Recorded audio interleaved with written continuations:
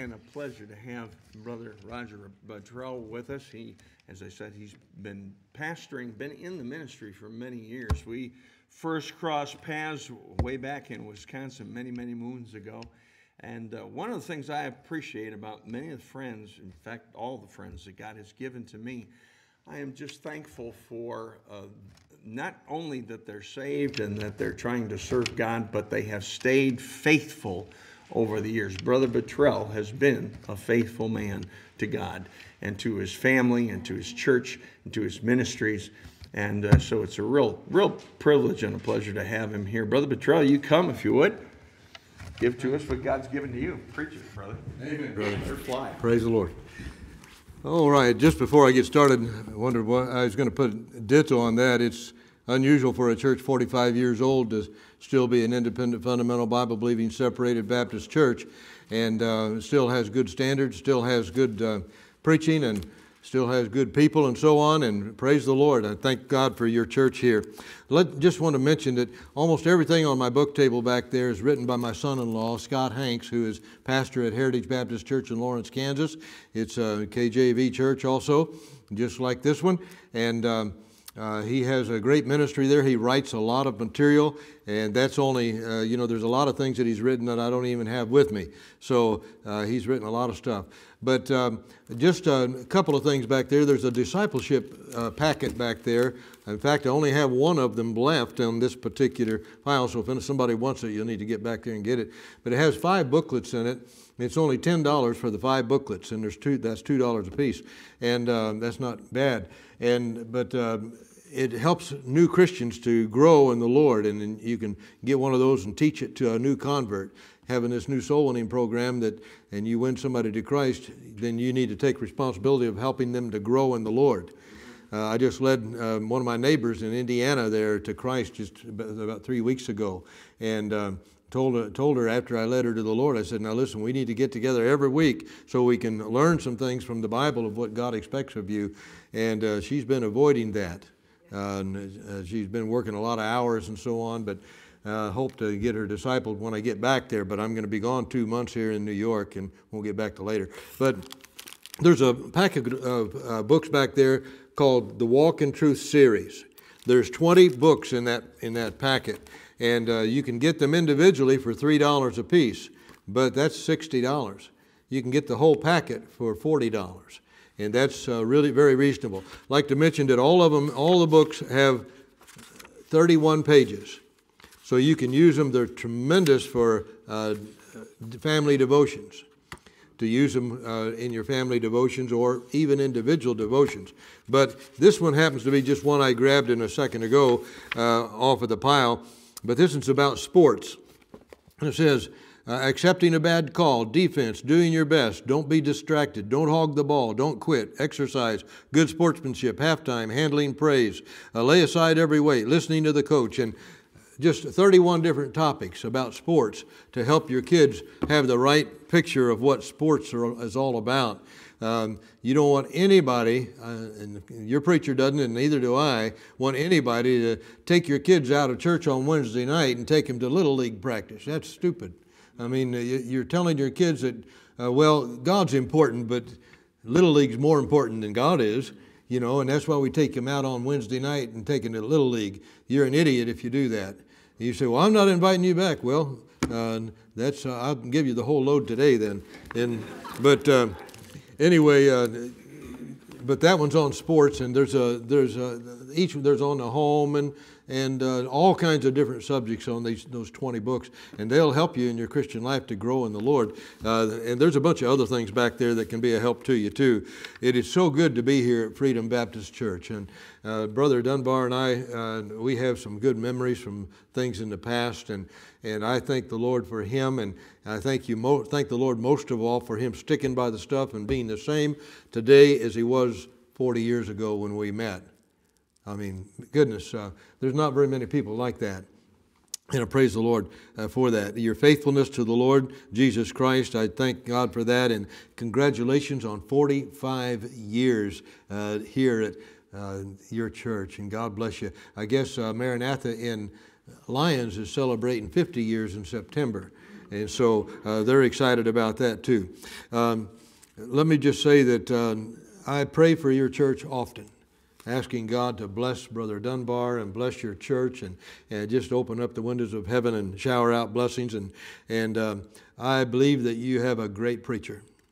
Sometimes when you have a preacher for a long time, you get used to him and you don't appreciate him as much as you ought to.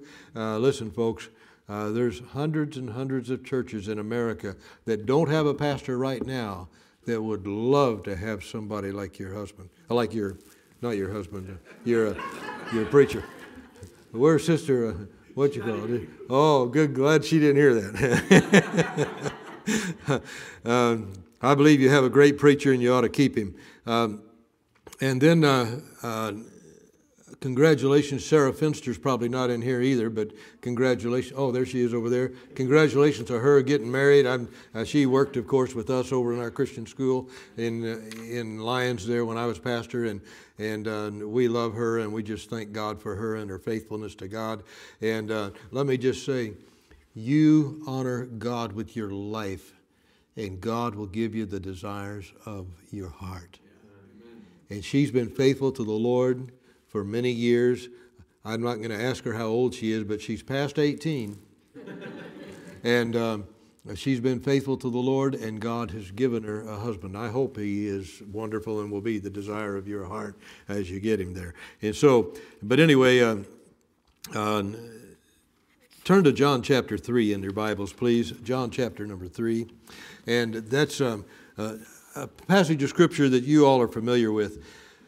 It probably not going to be a message that you've heard before, but uh, John chapter 3, verse number 12. I want to start with verse number 12 of John chapter 3. I've preached about every verse or two in, in John chapter 3 over the years, but John chapter 3, verse number 12, and we want to read through verse 16. Would you all have been standing quite a bit this morning, but would you want to stand for the reading of the Word of God? In John chapter 3, verse 12 through number 16, just a short time there. If I've told you of earthly things, and ye believe not, how shall ye believe if I tell you of heavenly things? And no man hath ascended up into heaven but he that came down from heaven, even the Son of Man which is in heaven. And as Moses lifted up the serpent in the wilderness, even so must the Son of Man be lifted up, that whosoever believeth in him should not perish, but have everlasting life. Let's all say the next verse together. For God so loved the world that he gave his only begotten Son, that whosoever believeth in him should not perish, but have everlasting life. Let's pray. Lord Jesus, I pray that you would give me liberty as I preach this morning. We thank you, Jesus, for dying on Calvary's cross. We thank you, Lord, for seeing us as valuable. Lord, we look at ourselves and if we're honest, we don't see ourselves as valuable. We see ourselves as wicked sinners that, by the grace of God, have been born again. And Lord, we thank you for that. And I pray, Lord, that your Holy Spirit would lead and direct as I speak this morning. And I'll praise you for that. In Jesus' precious name I pray. Amen. Thank you. may be seated. If there's somebody here and they're not born again, then I pray that today will be the day that you repent of your sins and trust Jesus as your personal Savior. I pray that that'll be the case in your own personal life, and it'll be the most exciting thing that you've ever done, you've ever done in your life. Do you know that God values you? If I said, um, how important are you to God? Well, you, you're so important that God sent God's, uh, that God sent heaven's greatest treasure to buy you, to pay for you, to pay for your sin. You know, one way of determining how much something is worth is finding out what somebody else would pay for that. You know, a lot of our possessions, we think more of them than they're actually worth. And if you try to sell them, you may get a little bit of money, but you probably won't get as much as you think your items are worth for probably just about anything, anything that you have. Um, it doesn't matter whether it's a big item like your car or your house, or whether it's a little item like a, a dress or a pair of slacks or something. But God puts a worth on us. God values you. In Mark chapter 8, verse 36, it puts it in a little bit of perspective where he says, What shall it profit a man if he shall gain the whole world and lose his own soul? If you were a rich man and you had all the money that you needed in the whole world and you could buy anything that you want, what in the world would the profit be? Because when you die, you're not taking nothing with you. Bill Gates, Elon Musk, all those guys, they're going to die the same as you and I are going to die one of these days, and they're not taking nothing with them. And they're all going to stand before a just God and find out where they're going to go. When you die, all of your personal possessions will be worth nothing. Somebody else is going to get them. Your soul is worth more, though, than all the possessions added together in the whole world.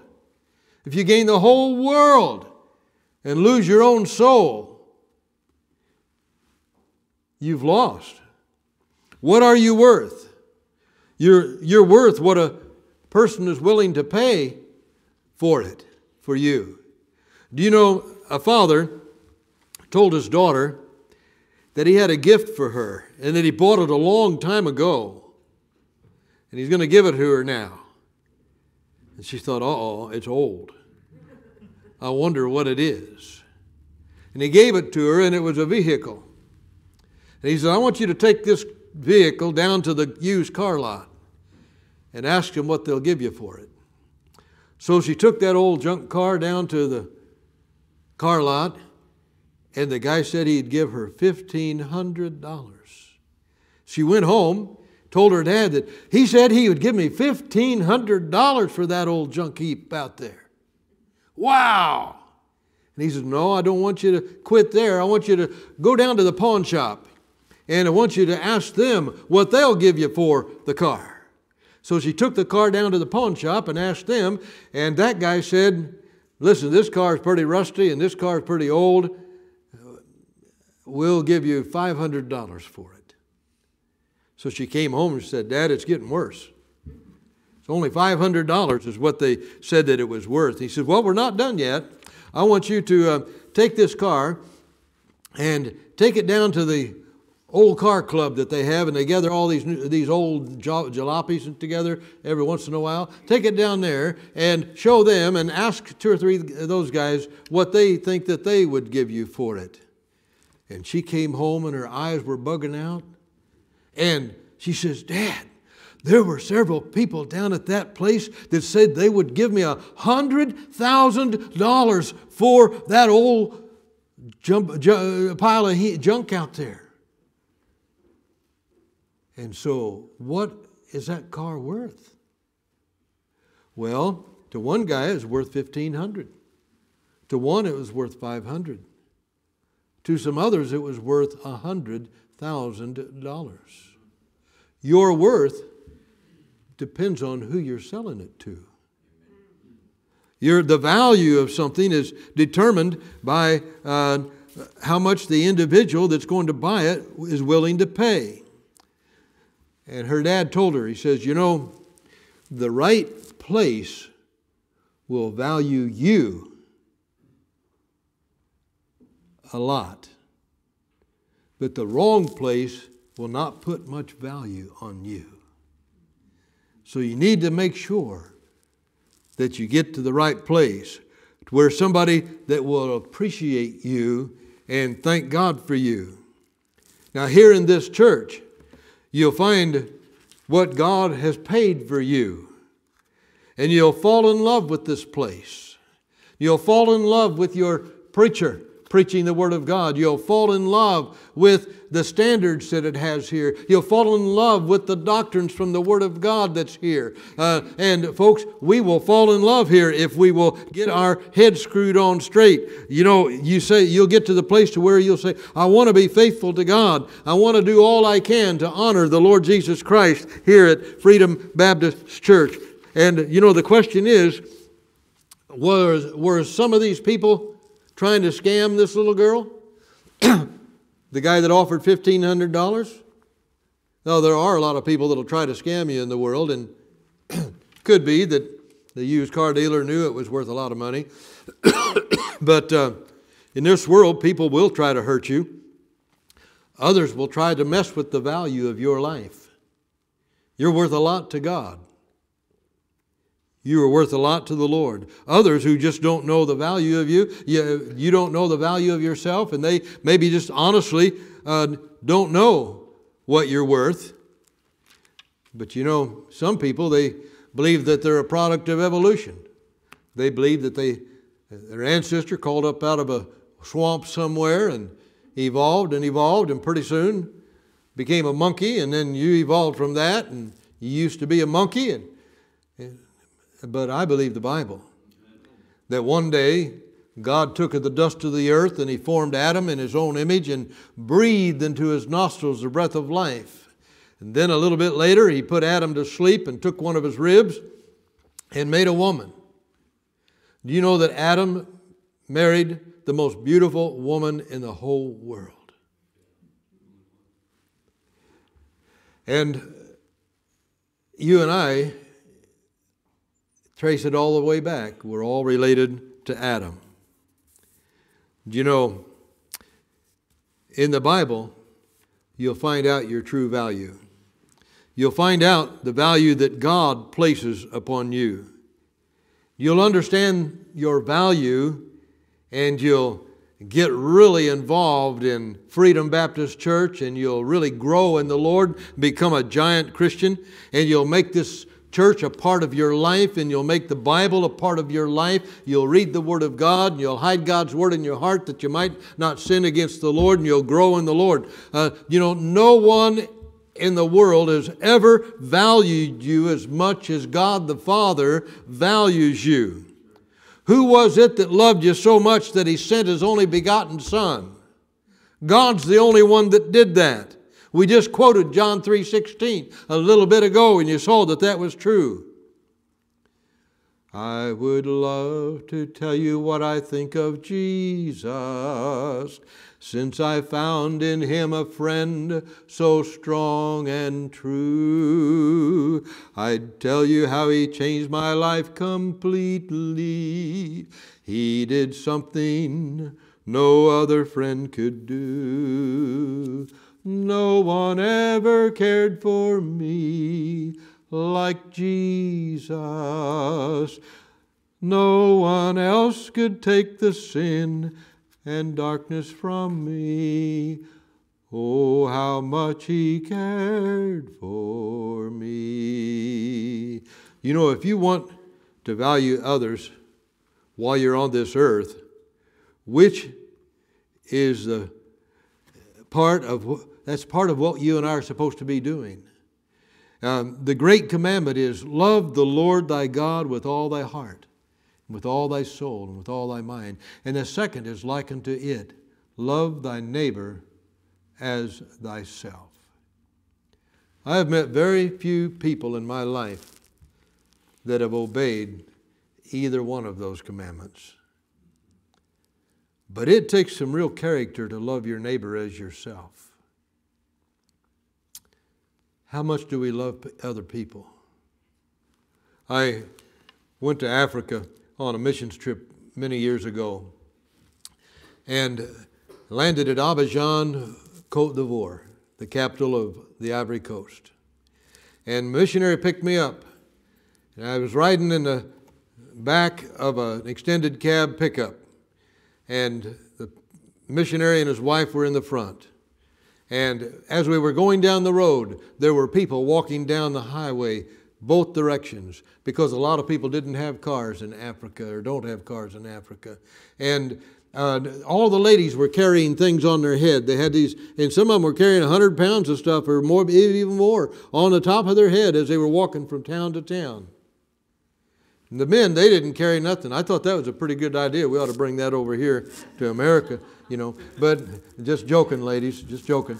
Um, but um, uh, the, the ladies were carrying all these things, and I was riding along watching all these people, and I said to our missionary, Do you know, brother missionary, every one of these people are a soul for whom Jesus died. And he said, That's right, preacher. And we drove down the road about another, we were going about 350 miles from the airport, you know, a few more miles, and God spoke to my heart and he said, He said to me, He said, You little hypocrite. You've been in America all these years and you've drove, driven by millions of people, and you've never said one time in America, all of these people are a soul for whom Jesus died. And I got under conviction. I thought, I better start caring for people in America the way I ought to. Why do I have to go to a foreign field in order to care for a lost soul somewhere? You know, we can't value another soul, another people like we should until we find out how much God values you. Not long ago, there was a saying going around, you all heard it Black Lives Matter. You've heard that. Yes, Black Lives Matter. But perhaps there's some out there who are not being valued like they should be valued. But somebody else cried, Blue Lives Matter. That's the police officers. And yes, the police officers matter too. I even have a little sign on the back of my trailer that I pull on the back of my RV that says Police Lives Matter. Hopefully, that a police will notice that if they ever stop me, uh, you know, with the with the thing, and uh, then they say, "Oh, yeah, I won't give him a ticket," you know. But um, you know, but I'm sure thankful for police, though, and glad that you can call them whenever you're in trouble and you need some help and so on. And so I love them and respect them and, and uh, so on, except when they're behind me and they're getting ready to turn that red light on, then I don't love them quite as much right then at that particular moment. You know, uh, when I was a teenager, uh, I had a 1965 GTO convertible, red with a white top, chrome wheels, chrome valve cover, covers, and chrome air cleaner, and, and a four speed Hurst transmission on the floor. And uh, every time I went by a policeman, he'd turn around and follow me. Man, I got more tickets when I was 17 and 18 years old than in my whole life, all put together. Man, I even got a ticket one time on the way home from paying a ticket. So uh, uh, at that that particular time of my life, I didn't appreciate police as much as I should. But you know, others say all lives matter. Let me just say, you matter to God. We need to understand that God loves everyone. God values people. I may not know much about you, but I want you to know that you are valuable to God Almighty. God loves you. So you matter to God and you matter to me. Years ago, there was a show on TV. It might even be still on there. I don't watch TV hardly ever anymore, hardly ever see anything on TV. But there was a show called uh, The Antique Roadshow. Some of you may have seen that, maybe watched it, and so on. It started in England many years before it came to America, but it's been in America for a while, and it, it may still be on the air. I don't know. But uh, people would bring their old items to the antique roadshow, and they would. Uh, get them appraised and they would tell them how much a particular item was worth and, and it was an interesting show uh, but there was a girl named clara beckman I don't know who she was, but it just came across her name. And, and she went to a yard sale. Uh, ladies love yard sales. And they had a whole bunch of them in Lyons area yesterday. Probably had a bunch of them over here. But uh, uh, she found a little table. It was just a little bitty table. And the guy had a price of $30 on it. Well, she talked to the guy there and she talked him down to $25. So she bought that little table for $25. And it just so happened that within the next few weeks, the Antique Roadshow came to her area of the country. And she thought, I'm going to take that little table down there just to, for the fun of it to see what they'll tell me. And so she did, and uh, the guy appraised that thing. And do you know that he appraised that little $25 table for $250,000? She was bug eyed, man. She couldn't believe that. And she took it to Sotheby's in, in New York City and had it auctioned off. And she was not, he was not right on that estimate. That particular little table brought, brought $541,212, I believe is what it was that that, that table brought. And, and so, uh, whoops, I'm going the wrong, wrong direction there on my notes. Uh, but uh, in Minneapolis, Minnesota, they had the Antique Roadshow went there one time, and uh, this guy named Patrick Philippe, or Felipe, or however you say his name, he had a pocket watch. And he took that pocket watch to the Antique Roadshow, and the guy looked at it, and it was a, a, a, real nice watch and so on. And he had it appraised before somewhere, and the guy said it was worth $6,000. And so, uh, uh, so at the Antique Roadshow, he also appraised that watch with a value of $250,000. One pocket watch. So he took it also to Sotheby's and had them auction it off, and the auctioneer was a little off on what he valued that because he got one million five hundred and forty-one thousand dollars for that watch, that pocket watch. Wow. Now you're going to start looking for pocket watches at yard sales, right? Um, but here we are today at Freedom Baptist Church the heavenly appraisers here today, and you say, What am I worth? God takes a look at you. He knows your weaknesses, He knows your sin, He knows any secret sins in your life. He knows all of your faults. He knows everything about you. He knows when you lose your temper. He knows when you're thinking bad thoughts. What are you worth to God? You are worth the exchange of God's greatest treasure Jesus Christ, the Son of God, who came to die in your place so that you could receive Christ as your Savior. What is the reality of your worth? Well, Pretend that birds could talk. And you went outside early in the morning and heard the birds chirping and singing. And they say, Listen to me a minute, the birds do. And they say, My life is not perfect, but I can sing. God looks after me, and there is a God that looks after you. But you know that He values you more than He values me? Shouldn't you be the one that's singing? Matthew 10 29 says, Are not two sparrows sold for a farthing?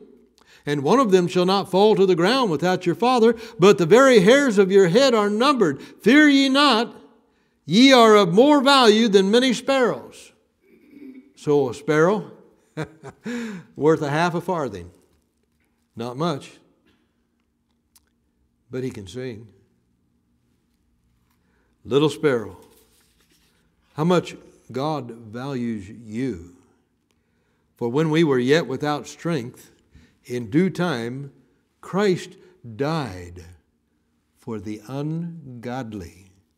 For scarcely for a righteous man will one die, yet peradventure for a good man some would even dare to die. But God commendeth his love toward us in that while we were yet sinners, Christ died for us. It was a wonderful person that if it was a wonderful person that Christ died for, we would say, Oh, I understand. They were a wonderful person. But it wasn't a wonderful person that Christ died for, it was you. And you're not a wonderful person, you're a sinner. You deserve to go to hell. I deserve, compared to God, we're vile. Compared to God, we're no good. There was a uh, story about a railroad track. It came down, and then the railroad track, track split. And there was a switch there that made the train go one way or the other. Imagine you're standing there and you are put in charge of the switch. The train is coming, and your little girl, your little baby girl, is tied to one direction. And the most vile, ungodly man on the earth was tied to the other section. And the train's coming. Which way are you going to switch it? Well, obviously, you're not going to let your daughter die. You're going to let the train run over the crook. Let's change the scenario just a minute. Let's put God the Father at the switch and put Jesus Christ on one side, tied to the track, and put you on the other side, tied to the track. Here comes the train. God the Father. Who are you going to let die? You or Jesus Christ? God said, I'm going to give my son so that this one can repent Maybe they'll never repent. Maybe they'll never pay any attention to me. Maybe they won't, but maybe they will. And he lets his son get killed so that you would have a chance of trusting the shed blood of the Lord Jesus Christ and be saved. Think about it. Oh, how we need to put things in the right perspective. Do you know? God took his son, let him die in your place. That's the reality of your worth. What's your reaction whenever you hear about that and, and you know about what your worth is? The reaction from one who knows that, uh, who's known God for a long time, and many of you have been saved for years and years and years. You sat and listened to the great music this morning that we sang. All kinds of wonderful songs that we sang and you were reminded of how good God is, and then you heard people lift their voice up and pray. And we had the opportunity to put an offering in the offering plate and give to God a portion of what He's given to us. And, and, and, and you say in your mind, I'm not going to waste my life running after the things of this world that money could buy. I'm going to put God first in my life, and I'm going to run after the things of God and let Him control my life and let Him lead me in my life. Let Him help me. The Bible gives us a verse about that. It says, Seek ye first the kingdom of God and His righteousness, and all these things shall be added unto you. We should run after the things of God as a reaction to how much He valued you and saved your soul. And you could have, He could have just said, they're not worth saving and let you die and go to hell. But he died for you, and whosoever shall call upon the name of the Lord shall be saved. I'm not willing that any should perish, he said, but that all should come to repentance. God put you first when he let his son die in your place. So I want to spend the rest of my life putting him first with my talent and my treasure and my time. Oh, how we all ought to do that in our own life. You might be saying, well, I don't value people the way that I should. You know, when we get away from God, we don't value people like we should. We need to get close to God.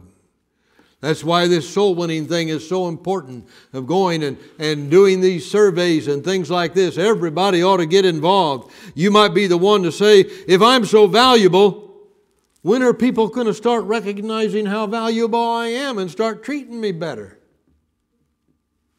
That's one way to look at it.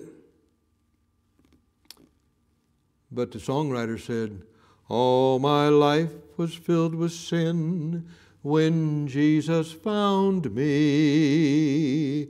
Oh, my heart was full of misery and woe.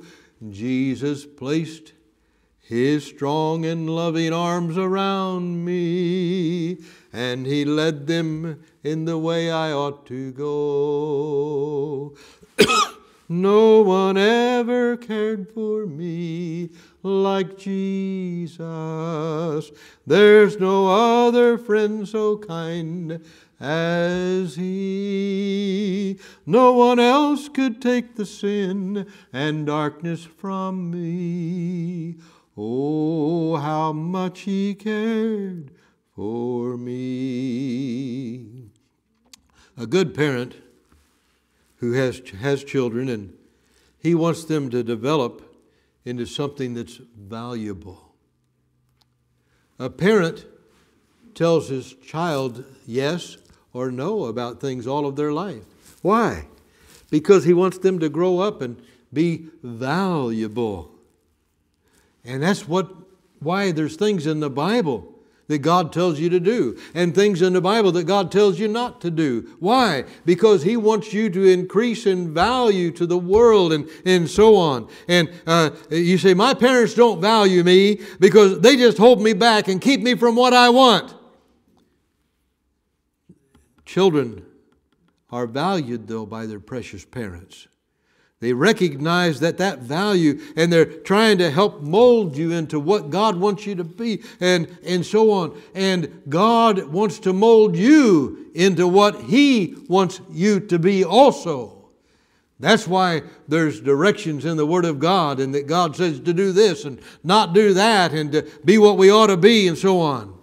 We think in the Word of God of, of uh, Samson. He wanted his own way. He said, Get me that girl.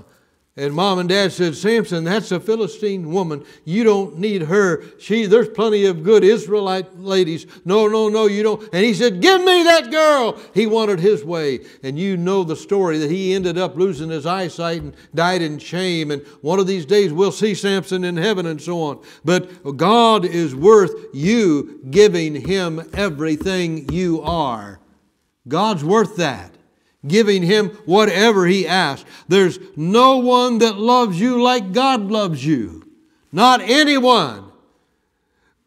Let God's love motivate you for the rest of your life and say, God, whatever you want me to do, I'll do it. Wherever you want me to go, I'll go. Lord, I want to be what you want me to be. Lord, help me not to hold back. I know you love me so much, Lord. You gave your Son to die for me that I could have eternal life. Romans 12, verse 1 says, I beseech you, therefore, brethren, by the mercies of God, that you present your bodies a living sacrifice, holy, acceptable unto God, which is your reasonable service. And be not conformed to this world, but be ye transformed by the renewing of your mind, that you may prove what is that good and acceptable and perfect will of God. You know, what's the responsibility of your worth? Since God values us so highly, you ought to want to honor him. You ought to want to put him number one in your life. Does God come first for you? A dad came to his little girl when she was only four or five years old and he gave her a little set of fake pearls. She loved those fake pearls. Number one, she didn't know they were fake. She loved those little fake pearls. And, and a few years passed, and then Dad came and said, Hey, sweetheart, would you give me those pearls? Oh, no, Daddy, they're my pearls. I really love these pearls. I'm not going to give them to you. And Dad says, Okay, and he walks away. Sometime later, he came back and said, Hey, doll, sweetheart, would you give me those pearls? Oh, no, Daddy, I won't. I won't give you those pearls. They're my pearls, and they're so precious to me. And as she grew, one day she got convicted about being so stingy with her dad and thought, I'll give up these pearls for, for Daddy. And he came and said, Sweetheart, would you give me those pearls? And she says, Yes, Daddy. Here's the pearls. And she gave them to her daddy. Well, her daddy reached into his pocket and pulled out a little box. And it had some genuine, real pearls in it. And she gave up her fake pearls, and dad replaced them with some real pearls when she was willing to give up the old fake pearls to her dad. You know, when God wants something from you, give it to Him. Just give it to Him. When God wants something, He has better things in store for you. I don't have time, but if I were to take the time, I could tell you dozens of stories of how through my life God said, when I've maybe at somebody's house, He said, You know that $100 bill you've got stuck in that secret part of your billfold? Give it to him. I said, Lord, are you sure? and I'd reach in my billfold and pull out the $100 bill and gave it to him. And I've had people break down weeping in thankfulness when I do that sometimes. Invariably, before a few days have gone by, God's replaced the $100 with something else that is worth far more. I've seen Him do it over and over and over and over and over. I couldn't even tell you the stories without weeping how good God has been. Do you know how much is Jesus worth to you? Well, he's worth whatever somebody else is willing to pay. Judas sold him for 30 pieces of silver. What would you pay for Jesus? What's he worth to you? You know, how much is Jesus worth to you? Every day he comes to me with new assurance.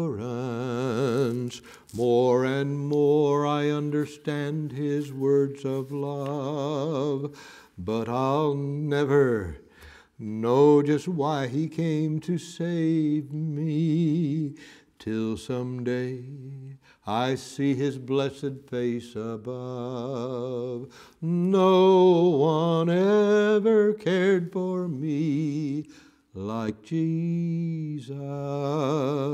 No one else could take the sin and darkness from me. Oh, how much he cared for me. Could we have every head bowed for a minute, and every eye closed? I'd like to ask a couple of questions. You say, Preacher, I'm saved. I, I know I'm going to heaven when I die. I'm born again. But God's spoken to me this morning, and I'd like to have prayer concerning my Christian life.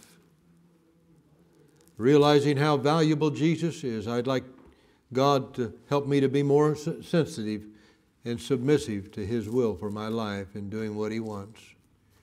If you'd slip your hand up, I'll remember you in prayer. God bless you. God bless you. God bless you. There's hands all over in the back and in the middle, way in the back, and God bless you in all three sections. God bless you. You can put your hands down now. Now, let me ask you this. You say, Preacher, if I died right now, I, I don't know that I'd for sure go to heaven. I, I doubt it. I don't know.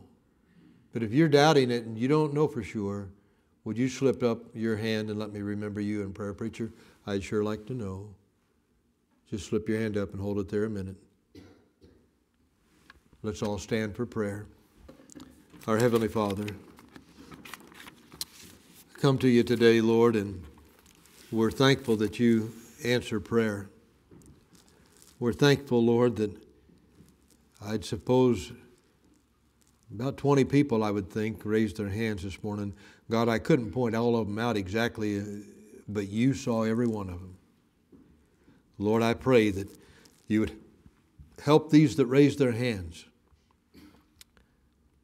Lord, if you're speaking to their hearts, help them to get their prayer answered in their heart. They want to be more submissive to you. They want to do what you want them to do in their life. They, they want to express their love for you, Lord, and they want to show you that they really do love you. And I pray that you would help them, Lord, as you lead them and direct them in their lives. And Lord, answer their request and their prayer. And Lord, many of these, they need to come to this altar this morning and pray and talk to you and get these things settled in their heart and their life between you and them. I pray that you'd answer these requests for Christ's sake. If anybody's not saved, may they come to the front and take my hand or the preacher's hand, and Lord, we'll find somebody to show them exactly how they can get to heaven. While their heads are bowed and their eyes are closed, and as the pianist or organist plays, God's speaking to your heart. Slip out of your seat. Just say, Excuse me, somebody's in the way, and come to this altar and pray. And did you really mean it a minute ago? You raised your hand, you wanted prayer. You want God to do something in your life. Don't, don't say no to the Holy Spirit of God when He's speaking to you. You just come up and kneel down at one of these altars. Or if you can't kneel, you can sit on the front pew or whatever you want to do. You just slip out. Some of them coming. What about you? Did you really, really want God to do something in your life? You really want to be surrendered to Him? Will you come? Will you spend some time talking to God to seal this decision in your heart and let God lead you and direct you in your heart and your life?